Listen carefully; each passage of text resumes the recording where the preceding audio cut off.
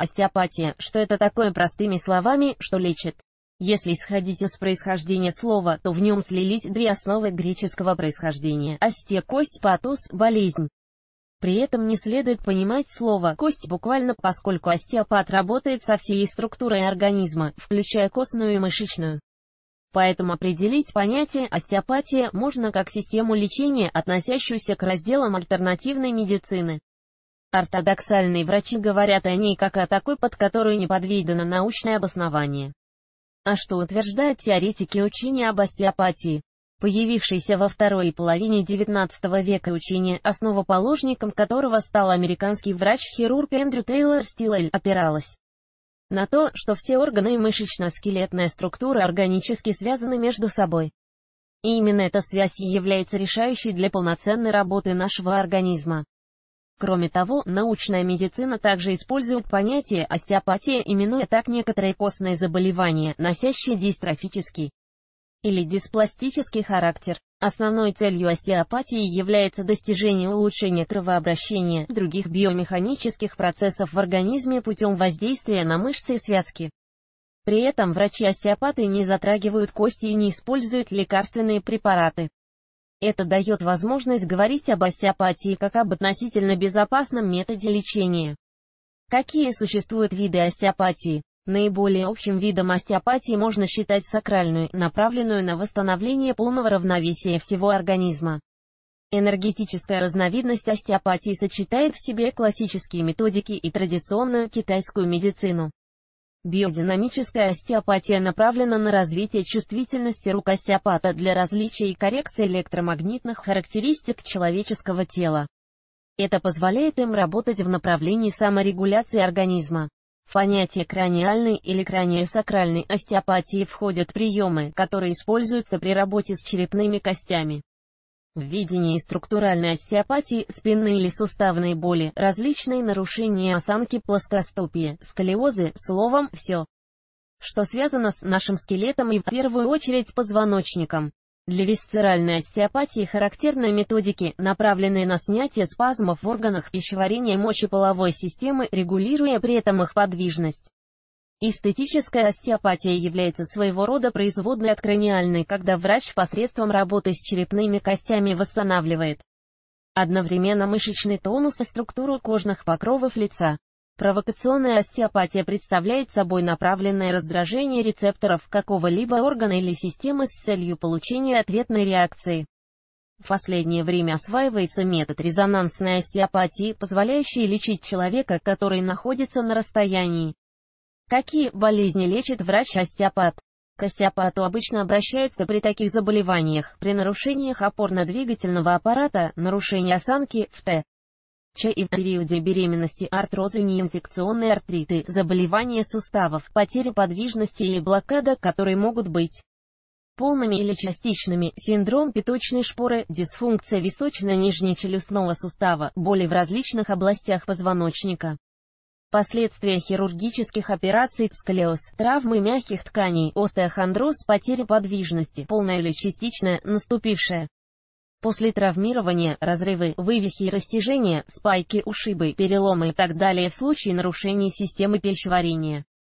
Синдром раздраженного кишечника, тонкая и толстая кишка. Запоры или поносы, наличие послеродовых спайк или возникших в результате адниксита предменструальные боли, синдром и проблемы с менструальным циклом, гипертонус матки или нарушение ее подвижности и положения, угроза в выкидыше или бесплодие, отеки при беременности, токсикоз, боли в области спины, подготовка костей таза к родам, простатит, боли в тестикулах, при заболеваниях органов дыхания, бронхиальная астма. Последствия, возникшие в результате таких перенесенных заболеваний, как плеврит или пневмоторакс, хронический бронхит, гайморит или ринит, заболевания зубов и челюстей, нарушения, связанные с височно-нижнечелюстным суставом. Бруксизм, нарушение окклюзий, с которыми связано также состояние осанки и походка. Локомоторные и васкулярные нарушения при диабете или менопаузе. Наличие эссенциальных гипертонии, гипер- и гипотериоза, гиперпролактинемического синдрома. Проблемы, связанные с выделительной системой, хронический цистит, почечный литиаз, инурез, состояние первичной почечной недостаточности, нефроптез или опущение мочевого пузыря, головные боли, головокружение, нарушение центральной нервной системы, имеющиеся черепно-мозговые травмы, поражение их последствия, спастичность, нарушения, связанные с чувствительностью, синдромы канала Гюйона-Рейно, заднего большеберцового или серединного нервов, лестничной мышцы, нарушение моторики, астения, различные грыжи, повреждения дисков, радикулиты. Преимущество остеопатии четкость и точность диагностических методов. Врач-остеопат обращает внимание не столько на больной орган, сколько на имеющиеся функциональные отклонения и обнаруживает реальную причину боли, а не место, где проявляются последствия. Техника остеопатического лечения безболезненная. Обнаружение истинной причины болевых ощущений приводит не просто к облегчению самочувствия, а к эффективному лечению. Благодаря остеопатическим методам сокращается количество лекарственных препаратов, которые приходится принимать для облегчения состояния. Остеопатическое лечение осуществляется на точном знании таких разделов медицины, как физиология, анатомия, гистология, биохимические процессы. Метод официально признан в России с 2003 года, а с 2012 Минздравом утверждена специальность врача-остеопата. Процедура безболезненная может ощущаться только легкий дискомфорт, о котором врачи обязательно предупреждают. После может появиться небольшая боль или ощущение усталости, что считается здоровой реакцией на терапию. Противопоказания для остеопатического лечения. Метод остеопатии практически не имеет абсолютных противопоказаний. К таковым без исключений можно отнести разве что неотложные критические состояния, при которых оказывается ургентная помощь. Все остальные носят относительный временный характер. Такими противопоказаниями являются сложные открытые переломы и травмы, заболевания остеопорозом, наличие новообразований злокачественного характера, хронические инфекции в стадии обострения, психические расстройства в острой форме, как лечит остеопатия? В этом и состоит основной принцип остеопатического лечения. Организм человека является единой, цельной системой, в которой все составляющие взаимосвязаны. И поэтому воздействие происходит на весь организм в комплексе, а конечной целью является ликвидация первопричины болезни. Отдельным положительным моментом является эффективность остеопатии в том числе и в стадии субклиники. Таким образом, основополагающим в остеопатических методах лечения является грамотность диагностического подхода и мягкость лечебных техник, в отличие от силового манипулирования. Направленность остеопатического лечения на восстановление организма, его саморегуляцию и адаптацию. В диагностике применяются методы осмотра функциональных проб пальпации, при которой врач воздействует руками на ткани и мышцы, суставы, внутренние органы. Его задача – обнаружить причину, по которой развивается заболевание, а не борьба с последствиями. Если смещен какой-либо орган, что приводит к болям в спине, то остеопат возвращает его в правильное положение. Когда наступает эффект от остеопатии, как показывает практика, первые сдвиги в лучшую сторону при лечении у настоящего профессионала наблюдаются практически после двух-трех сеансов. А в отдельных случаях могут проявиться и после первого же визита к врачу. Но положительный эффект еще не означает полного исцеления от болезни. Он наступает только после того, как закончен полный курс лечения. Невозможно быстро исцелить болезнь, которая копилась годами. Как часто нужно посещать остеопата? Оптимальное время между сеансами – 1-2 недели. Время для перерыва дается с той целью, чтобы организм успел восстановиться и сбалансироваться. Во время между сеансами, когда курс лечения продолжается, необходимо исключить физические нагрузки, спортивные занятия, физкультурные упражнения. Что нельзя делать после приема остеопата? Врачи рекомендуют по окончании сеанса не уходить сразу, а еще некоторое время оставаться в клинике, просто посидеть в коридоре, чтобы понять свои ощущения. И если ощущается головокружение, мышечные спазмы и так далее, сразу сообщить об этом врачу. После сеанса остеопатии в обязательном порядке необходим отдых. Поэтому как минимум на протяжении суток запрещены поднятия тяжести, занятия спортом, посещение бассейна, любые резкие и порывистые движения, в том числе быстрые вставания. Организм не должен переохлаждаться или перегреваться. Не рекомендуется садиться за руль сразу после сеанса остеопатии. Не менее месяца следует соблюдать щадящий режим и избегать физических и ударных нагрузок, полностью исключить занятия видами спорта. в которых возможны травмы коньки, лыжи, велосипед, сноуборд и так далее. Запрещен любой массаж, если он не согласован с врачом-остеопатом. Это же касается и аппаратных процедур. Нельзя пренебрегать упражнениями, которые назначит врач, они закрепят положительные эффекты и укрепят мышечный корсет. Что взять с собой на прием к остеопату? В списке необходимых для приема остеопата вещей только самое необходимое – паспорт и медицинская карта с выписками о результатах всех обследований, которые вы проходили. Если вы ведете на сеанс ребенка, захватите его свидетельство о рождении и любимую игрушку. Надеть лучше всего легкую обтягивающую одежду, футболку, майку, тупик, трика, можно взять с собой купальник или плавки, так вам будет наиболее удобно принять то положение, которое необходимо для правильной работы врача. А вот юбку или плотные джинсы надевать не стоит, они, как и бюстгальтер или ремень, только помешают врачу. Триггерные точки в остеопатии. Дословный перевод слова «триггер» с английского «пусковой механизм». Именно таким механизмом, запускающим боль, и является триггерная точка. Она представляет собой незначительный очаг напряжения, который сосредоточен в мышце и способен активизироваться при определенных условиях.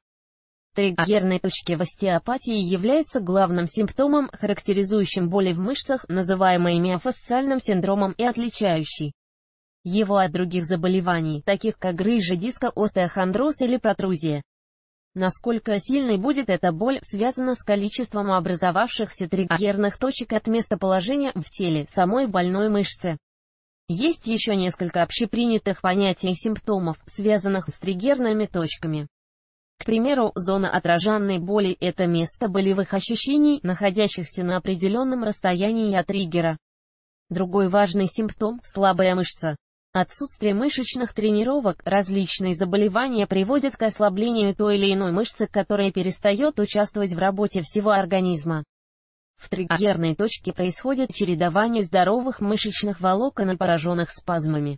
Триггер делает пучок волокон более плотным и натянутым, за счет чего он начинает натягивать места крепления самой мышцы. Именно в них и возникают болевые ощущения так и возникает зона отраженной боли не в самой триггерной точке, а в месте крепления мышцы. Кроме того, стягивая места, где крепится мышца триггерная точка не только способствует укорочению самой мышцы, но и ее ослаблению. Наглядным примером может служить человек, которого мучают боли в спине, возникшие в мышечном корсете, который окружает позвоночник. Триггерные точки укорачивают мышцы, заставляя сам позвоночник сгибаться. Обычно при возникновении триггерных точек вблизи них проявляются вегетативные нарушения, сухость или шелушение кожи, появление пигментных пятен или покраснений, сосудистых звездочек, отеков и так далее. Почему появляются триггерные точки? Наши мышцы представляют собой клетки, которые сокращаются, когда к ним поступает нервный импульс и расслабляются, когда он выключается. Если же движения импульса становятся хаотичными, такими же нерегулируемыми становятся и сокращение тканей мышц. Чем дольше длится подобное состояние, тем большее количество клеток мышц задействуется в таких непроизвольных сокращениях. В совокупности они приводят к образованию триггерной точки. Другими словами, триггерная точка возникает в результате деформации мышечных клеток и нарушения их нормальной работы. Почему возникает боль в триггерной точке? Причинами по которым активируются триггерные точки, приводя к возникновению болевых симптомов, могут выступать физическая перегрузка, чрезмерное переохлаждение, при котором мышцы усиленно сжимаются, давая импульс триггерной точке, психологический стресс, интоксикация. Употребление алкоголя, курение, чрезмерный прием лекарственных препаратов, вирусы и так далее, давление на нее. Какие бывают триггерные точки в остеопатии? Активная, весьма чувствительная, не дает растянуться мышцы полностью, отраженная боль может проявляться как в состоянии покоя, так и при движениях. Латентная боль проявляется исключительно во время пальпации. Первичная проявляется после механического напряжения мышцы и латентно при активизации триггерной точки в другом месте. Вторичная проявляется, если мышца берет на себя функцию той, в которой находится первичная триггерная точка. Сателлитная активизируется в отраженной зоне. Ассоциативная возникает, если мышца перегружена в ходе компенсирования недостатка активности другой мышцы. Как узнать, где находятся триггерные точки? Чтобы узнать местоположение триггерной точки, врач-остеопат проводит мышечное тестирование для обнаружения ослабленной мышцы. Затем проводится анализ позы пациента, в ходе которого оценивается степень отклонения от нормы всех частей тела. Именно по этому критерию врач и определяет, где именно локализуются триггерные точки. Подобный анализ проводится и в движении. По совокупности всех показателей врач диагностирует все триггерные точки, включая скрытые. Таким образом, к методам диагностики триггерных точек относятся опрос, визуальная диагностика, осмотр в спокойном положении, кинезиологическая. Диагностика, осмотр в движении, мышечно-неврологическое тестирование, пальпация для выявления точечного эпицентра. Мышечные цепи в остеопатии мышечные или миофасциальные цепи представляют собой мышцы, объединенные с помощью единого фасциального ложа, которое имеет линейное расположение. Цепи объединены также единой задачей динамического либо статического характера. В их составе помимо мышц, сухожилия, фасции, связки и периост. Когда на одной из частей мышечной цепи производится действие, оно отражается на других группах, что дает возможность рассматривать их в качестве единой мышцы. Любое действие мышцы происходит внутри фасциального окружения и вместе они являются единым мышечно-фасциальным футиляром. Мышечная цепь по сути представляет собой линию, вдоль которой один участок мышц передает напряжение другому. И любое изменение длины этой цепи приводит к тому, что в работу включается все миофасциальное единство. В остеопатии используются фасциальные техники, которые воздействуют на ткани. Остеопат проводит рукой по направлению повреждения, двигаясь в сторону свободного движения. Комбинированный метод заключается в движении непосредственно к месту напряжения фасции, а в непрямом направлении к ослаблению. Таким образом фасция вынуждена перестраиваться, что приводит в результате к ее расслаблению. Такое сочетание позволяет прорабатывать всю мышечную цепь. Полезная статья о здоровье.